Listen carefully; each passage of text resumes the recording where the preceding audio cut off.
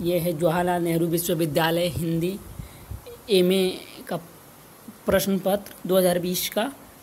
तो जो बच्चे एंट्रेंस एग्ज़ाम की तैयारी कर रहे हैं, उनके लिए ये दो साल का जो प्रश्न पत्र दिया हुआ है 2020 और 2019 का, उनका हम सॉल्यूशन करेंगे।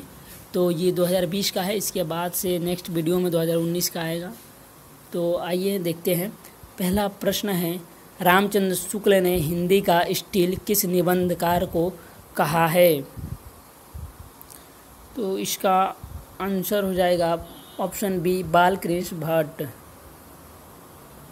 दूसरा है, निम्न में से कौन अज्ञे का काव्य संग्रह नहीं है? तो इसका ऑप्शन हो जाएगा, ऑप्शन डी, कुछ कविताएँ। प्रश्न तीसरा है, निम्नलिखित कहानियों का प्रकाशन वर्ष। निम्नलिखित कहानियों का प्रकाशन वर्ष। निम्नलिखित कहानियों का प्रकाशन वर्ष के अनुसार सही क्रम बताइए। तो इसका सही क्रम होगा ऑप्शन सी, एक टोकरी भर मिट्टी, प्लेग की चुड़ैल और प्लेग की चुड़ैल, ग्यारह वर्ष का समय, दुलाई वाली। ये ऑप्शन सी होगा इसका आंसर। प्रश्न चौथा है, निम्न दो कथनों में से एक को अभिकथन ए तथा दूसरे को तर्क आर से नामांकित किया गया है। अभिकथन है, ए है, आधुनिकता का मूल सरोकार विवेकशीलता से है। तर्क दिया गया है, आधुनिकता से देव परंपरा विरोधी होती है। उपरोक्त कथनों के प्रकाश में निम्न विकल्पों से सर्वाधिक उचित उत्तर चुनिए। तो इसमें चार ऑप्शन दिए हुए हैं ए बी सी डी तो इसका ऑप्शन हो जाएगा आपका बी है ए सही है, परंतु आर गलत। बी इसका हो जाएगा। उसके बाद प्रश्न पांचवा है, इनकी सी विशुद्ध, सरस और शक्तिशाली ब्रजभाषा लिखने में और कोई कवि समर्थ नहीं हुआ। रामचंद्र शुक्ल का यह कथन किस कवि के लिए कहा गया है? तो रामचंद्र शुक्ल ने ये कहा है बी ऑप्शन है इसका घनानंद। घनानंद के लिए रामचंद्र शुक्ल ने ये पंक्ति कही है। तो प्रश्न छठा है, कहाँ करुणानिधि केशव सोए, जागत नहीं अनेक जतन जतन करी भारतवासी रोए। उक्त पंक्तियाँ किस नाटक से ली गई हैं? तो इसका हो जाएगा, ये पंक्तियाँ ली गई हैं नील देवी से, ऑप्शन डी। ऑप्शन डी है, प्रश्न सातवां है, निम्न में से कौन सी कहानी के रचनाकार अमरकांत नहीं हैं? यानी निम्न में से कौन सी कहानी के रचनाकार अमरकांत नहीं हैं? तो इसका ऑप्शन हो जाएगा बी महुए का पेड़। बिंब और चित्र की सर्वाधिक भूमिका किसमें है? तो इसका आंसर हो जाएगा ऑप्शन सी शमशेर। प्रश्न नवा है ज्यो ज्यो निहारिये नेरे हैं नैननी त्यों त्यों खरी निकरे सी निकाई। तो इसका आंसर हो जाएगा मत्ती राम यानी कि इस इस पंक्ति को कवि मती राम ने कहा है। निम्न में से कौन सी कहानी आदर्श परक नहीं है?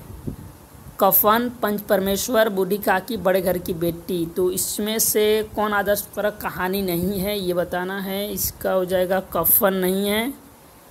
बाकी सब आदर्श परक कहानियाँ हैं।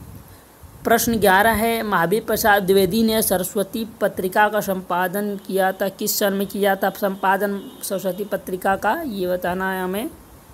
तो इस महावीर प्रसाद द्विवेदी ने इसका संपादन किया था 1903 ईस्वी से 1920 1903 ईस्वी से इसमें ये जानने वाली बात है कि इस सरस्वती पत्रिका जो प्रकाशन हुआ था, वो सन 1900 में हुआ था, ठीक है?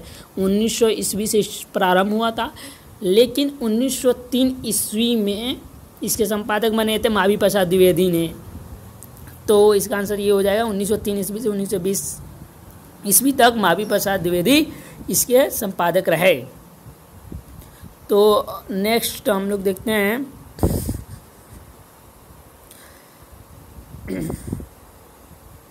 प्रश्न संख्या बारह है।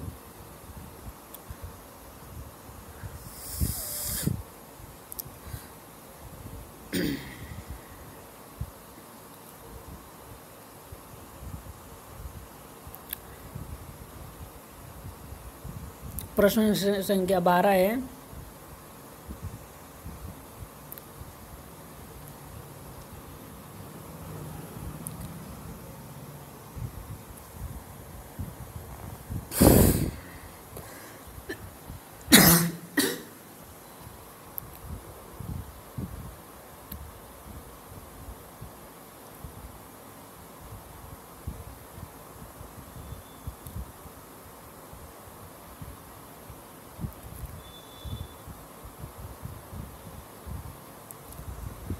प्रश्न संख्या बारह है, अपने अपने पिंजरे किस लेखक की आत्मकथा है?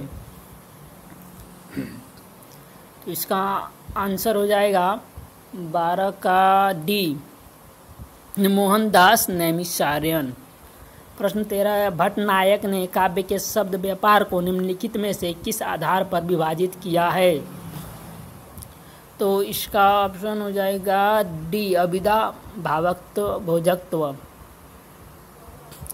प्रश्न नंबर चौदह चौदह है, निम्न दो कथनों में से एक को अभिकथन ए तथा दूसरे को तर्क आर से नामांकित किया गया है। अभिकथन ए है, द्विवेदी युग जागरण, सुधार एवं नैतिक मूल्यों की प्रतिष्ठा का युग है। तर्क दिया गया है आर, क्योंकि गांधी के व्यक्तित्व से अभिभूत तत्कालीन रचनाकार, साहित्य रचना में प्रवृत्त थे।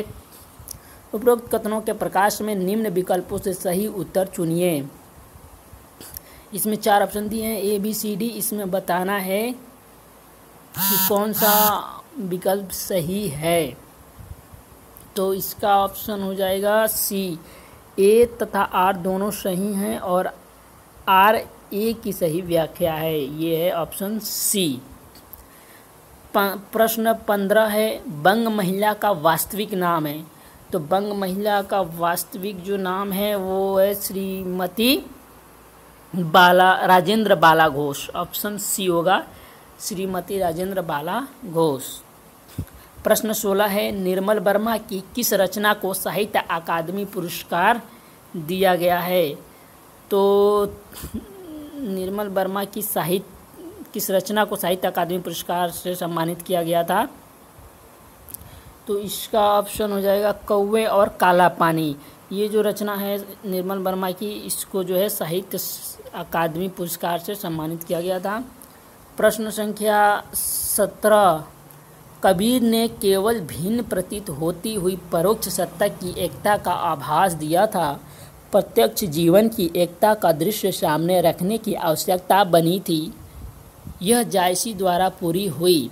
जायसी के संदर्भ में उक्त कथन किस आलोचक का है?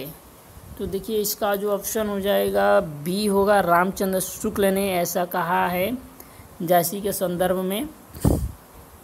इनके पुस्तक, हिंदी साहित्य का इतिहास, उसमें आपको ये सारे इनके जो पंक्तियाँ पूछी जाती हैं, वो उसमें मिल जाएगा तो आप उसे पढ़ सकते हैं। चित्रधार प्रश्न संख्या अठारह है। चित्रधार शीर्षक कविता के रचयिता हैं। तो चित्रधार कविता के रचयिता जो हैं,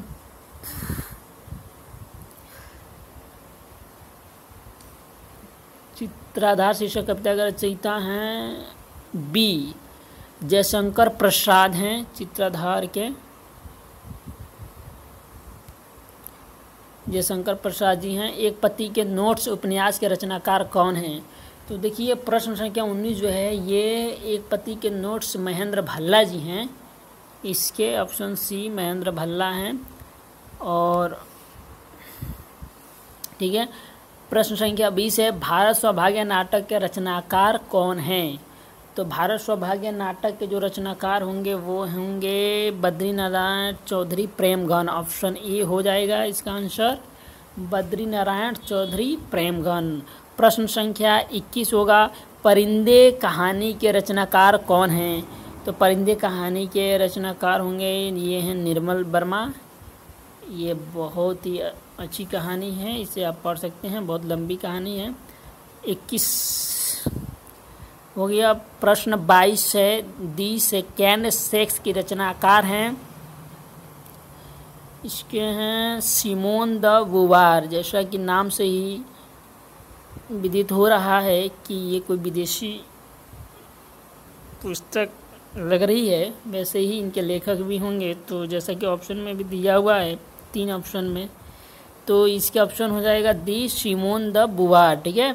शिमोन द बुवार प्रश्न संख्या तेईस, ध्वनि भेद निरूपण के आधार। प्रश्न संख्या तेईस है, ध्वनि भेद ध्वनि भेद निरूपण के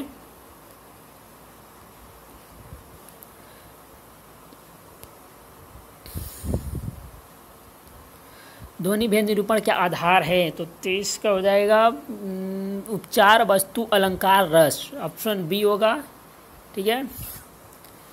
ध्वनि भेद के ये हो जाएगा ऑप्शन बी उपचार, वस्तु, अलंकार और रस, ठीक है?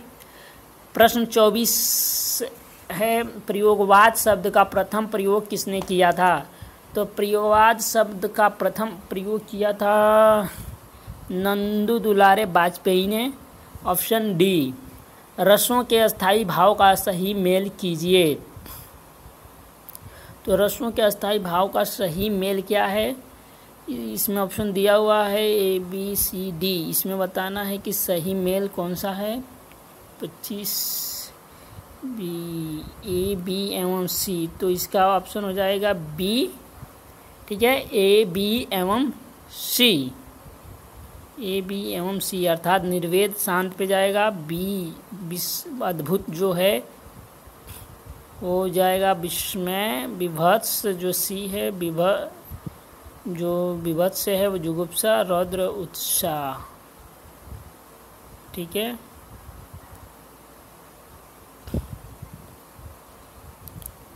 तो इसका ऑप्शन बी हो जाएगा। उसके बाद प्रश्न संख्या छब्बीस।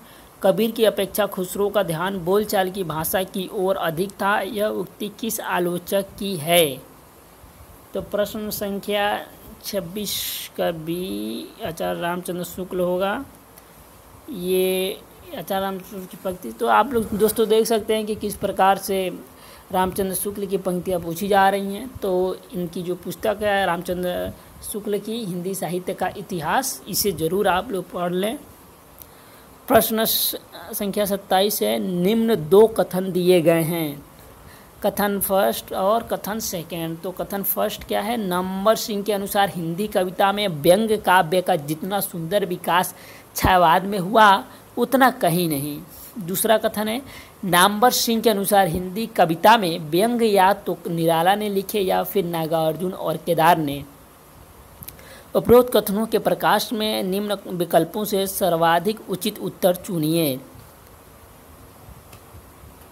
तो इसका ऑप्शन हो जाएगा डी जो है, कथन ए फ़र्स्ट गलत है, परंतु कथन सेकेंड सही है।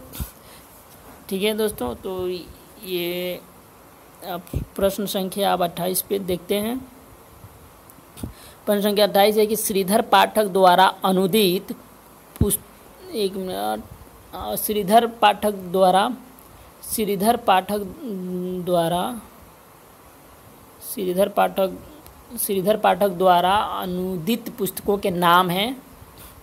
तो देखिए दोस्तों, उज्जवल ग्राम भी एक अंतवासी योगी ये भी है, शांत पथिक भी है। इसका ऑप्शन हो जाएगा डी, देहरादून। ठीक है दोस्तों तो इसका ऑप्शन हो जाएगा देहरादून। तो निम्न विकल्पों में से सही उत्तर चुनिए। तो हमको इसमें से विकल्प चुनना है, अर्थात देहरादून और भारत गीत जो है नहीं होगा। और बाकी ये ऊपर के ए बी सी सी तीनों होंगे तो इसका ऑप्शन हो जाएगा डी ए बी और सी ए बी और सी यानी कि हमें ये चुनना था कि सीधर पाठक द्वारा अनुदित पुस्तकों के नाम हैं तो ए बी सी एकांतवासी योगी उजड़ ग्राम और श्रांत पते की तीनों ही उनकी पुस्तकें हैं, जिसमें से उजड़ ग्राम और शांत पत्ती के एकांतवासी योगी ये जो हैं, ये अनुवादित पुस्तकें भी हैं। प्रश्न संख्या उनतीस पे देखते हैं। वेदना में एक शक्ति है जो दृष्टि देती है। जो यातना में है, वह दृष्टा हो सकता है। यह किसका कथन है? तो ये हो जाएगा ऑप्शन सी अज्ञे का। अज्ञे का ये कथन है। प्रश्न तीस है, भट्ट केदार ने किस सम्राट का गुण गाया है? तो भट्ट केदार ने जयचंद का गुण गाया है। प्रश्न संख्या इकतीस, निम्न दो कथनों में से एक को अभिकथन ए तथा दूसरे को तर्क आर से नामांकित किया गया है। अभिकथन ए है, संभवतः कल्पना शब्द का जितना अधिक प्रयोग और उसकी जितनी लोकप्रियता छायावाद के द्वारा मिली, उतनी पहले कभी न मिली थी। तर्क आर है, कल्पना ही उनकी वह शक्ति है, जिसके द्वारा वे अपने बंधनों की सीमा में रहते हुए भी उन्मुक्त आकाश में विचरण करने का सुख लेते थे। उपरोक्त कथनों के प्रकाश में निम्न विकल्पों से सही उत्तर चुनिए। ए बी सी डी चार ऑप्शन दिए हैं। एक इसमें चुनना है तो इसका ऑप्शन डी है। ए तथा आर दोनों सही है। आर ए की सही व्याख्या है। ऑप्शन डी अब हम लोग देखते हैं नेक्स्ट क्वेश्चन प्रस्तुत आलोचनात्मक प्रस्तुत आलोचनात्मक कथन किस आलोचक का है? पंत जी की आभासित होने वाली सामाजिकता में उतनी सामाजिकता नहीं है जितनी निराला की आभासित होने वाली व्यक्तिकता में है। पंत जी के आशावाद में भी उतनी शक्ति नहीं है जितना निराला के निराशावाद में है। ये ये पंक्तियाँ किसकी हैं, ये हमें बताना है। तो ये पंक्तियाँ हैं, ऑप्शन डी, नामवर सिंह ने ये कहा है ऐसा। ये भी बहुत अच्छे आलोचक रहे हैं और इनकी एक आलोचना पुस्तक है, जिसका नाम है छायावाद। ये वो, ये प्रश्न भी पूछा जाता है तो आप लोग इसे याद कर लें। प्रश्न संख्या तैंतीस देखते हैं। गोबर पात्र का संबंध किस उपन्यास से है? तो गोबर का संबंध जो है, गोदान से है। गोबर, गोदान का जो ये गोबर पात्र है, ये ये एक नवयुवक लड़का है। गोदान का ये पात्र है। इस प्रकार से भी प्रश्न पूछा जाता है। प्रश्न चौंतीस है, निम्न दो कथन दिए गए हैं। कथन फ़र्स्ट, कथन सेकेंड तो कथन फ़र्स्ट क्या है? आचार्य रामचंद्र शुक्ल, श्रद्धा का व्यापार, स्थल संकीर्ण है, प्रेम का विस्तृत। सेकेंड है आचार्य रामचंद्र शुक्ल साहसपूर्ण आनंद की उमंड का नाम उत्साह है। कर्म सौंदर्य के उपासक ही सच्चे उत्साही कहलाते हैं। उपरोक्त कथनों के प्रकाश में निम्न विकल्पों से सर्वाधिक उचित उत्तर चुनिए। तो प्रश्न चौंतीस का ये ऑप्शन हो जाएगा आपका बी कथन फ़र्स्ट गलत है और परंतु कथन सेकेंड सही है बी ठीक है? प्रश्न संख्या पैंतीस देखते हैं। हीरा डोम की कविता अछूत की शिकायत किस पत्रिका में प्रकाशित हुई थी? तो इसका आंसर हो जाएगा बी सरस्वती में हुई थी। पूर्वी हिंदी की बोली नहीं है।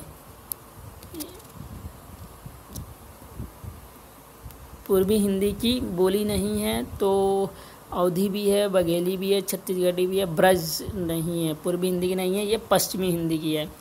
प्रश्न संख्या सैंतीस, सिसोदिया, रूढ़ियो मारो, काई कर लेसी तो इसका आंसर हो जाएगा, ये तो मीराबाई का ही है। प्रश्न अड़तीस सुमेलित कीजिए। पुरस्कार दिया है एक साइड और एक साइड रचनाएँ हैं। हमें बताना है कि किस रचनाओं को कौन सी पुरस्कार मिली है, ठीक है? तो निम्न विकल्पों से सही उत्तर चुनना है। तो इस विकल्प में हमें चुनना है। तो इसका ऑप्शन सी होगा, ठीक है? ऑप्शन सी, देखते हैं जो ए है, वो फोर्थ पे जाएगा, यानी कि ब्याज सम्मान मिला, दुखम सुखम को। उसके बाद जो बी है, साहित्य अकादमी मिला है, वो अरण्या को, बी का फ़र्स्ट पे जाएगा। मंगला प्र पारितोषिक जो सी है, वो ऑप्शन जाएगा इस पे सेकेंड पे, साकेत मिला है इस पे। यानी कि साकेत को मंगला प्रसाद पारितोषिक पुरस्कार दिया गया है। और ज्ञानपीठ पुरस्कार जो दिया गया है, वो दिया गया आपको चितम्बरा के लिए, ठीक है? चितम्बरा के लिए ज्ञानपीठ पुरस्कार दिया गया है। आइए अब नेक्स्ट प्रश्न देखते हैं। प्रश्न संख्या उनतालीस, निम्न दो कथनों में से एक को अभिकथन ए तथा दूसरे को तर्क आश नामांकित किया गया है। अभिकथन ए है, लोभ का प्रथम संवेदनात्मक अवयव है, किसी वस्तु का बहुत अच्छा लगना। तर्क दिया गया, लोभ आनंद स्वरूप है उपरोक्त कथनों के प्रकाश में निम्न विकल्पों से सही उत्तर चुनिए। तो हमें सही उत्तर चुनना है। तो इसका ऑप्शन हो जाएगा ऑप्शन ए। ठीक है? ए तथा आर दोनों सही है और आर जो है ए की सही व्याख्या है। प्रश्न चालीस है, अलंकार संप्रदाय के प्रवर्तक कौन है? तो अलंकार संप्रदाय के प्रवर्तक हैं भामा। बूंद और समुद्र उपन्यास में बूंद और समुद्र का प्रतिकार क्या है? तो प्रश्न इकतालीस है, इसका ऑप्शन हो जाएगा डी व्यक्ति और समष्टि। ठीक है?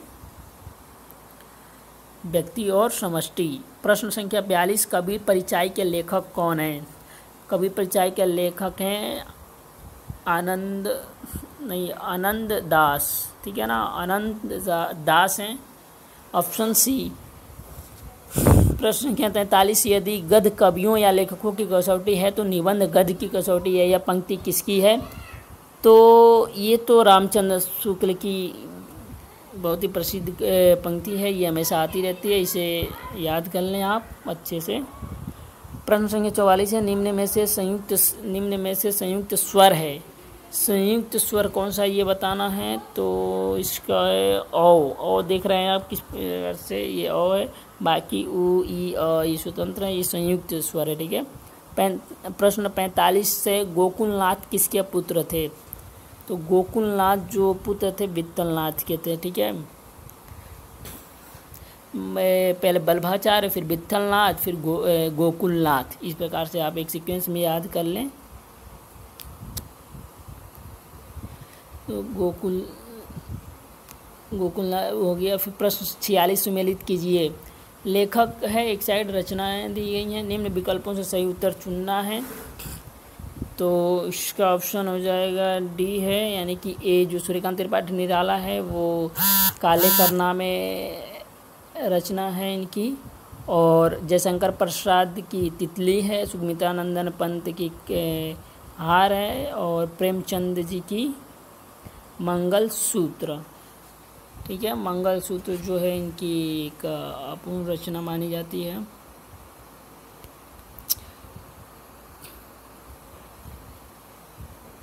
तो आइए नेक्स्ट प्रश्न को हम लोग देखते हैं। प्रश्न संख्या सैतालीस है। इनमें से किस नाटक का नायक प्रवृत्ति और निवृत्ति या काम और अध्यात्म के द्वंद्व से उत्पन्न तनाव से ग्रस्त है? तो इसमें प्रश्न इसका हो जाएगा, लहरों के राजहंस। लहरों के राजहंस जो कि मोहन राकेश का नाटक है।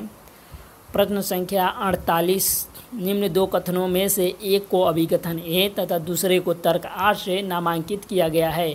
अभिकथन ए है, छायावाद व्यक्तिवाद की कविता है, जिसका आरंभ व्यक्ति के महत्व को स्वीकार करने और करवाने से हुआ।